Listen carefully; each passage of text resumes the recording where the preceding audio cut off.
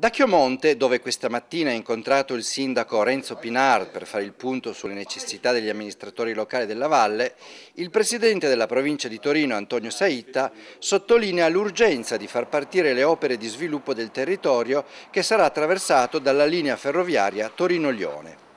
Tra queste le priorità sono la metanizzazione del comune di Chiomonte e di tutti i comuni limitrofi e il potenziamento dell'impianto di risalita del Pian del Frais per il turismo montano locale.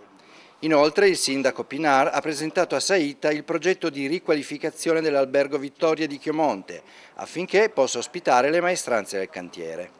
Il sindaco Pinar da mesi attende un incontro con esponenti del governo. È una visita che va al, alla ricerca della risoluzione dei problemi del comune di Chiomonte e della valle intiera sul, su,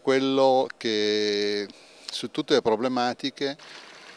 che nascono dal, da questa nuova opera ferroviaria.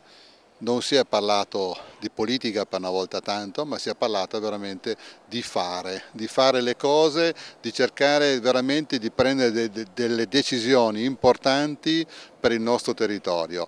Abbiamo voluto incontrare oggi il sindaco in concomitanza con l'inaugurazione della stazione dire, di Susa eh, perché c'era la necessità di fare un po' il punto eh, con il sindaco delle questioni che bisogna risolvere qui in connessione appunto con la realizzazione del, del tunnel.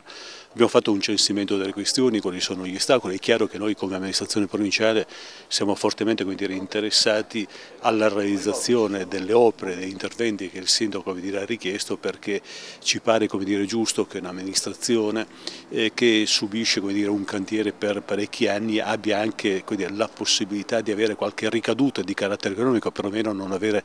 assolutamente danni. Le richieste del sindaco sono ragionevoli e nei prossimi giorni vedremo dire, le modalità concrete per dare delle risposte precise evidentemente insieme agli altri enti.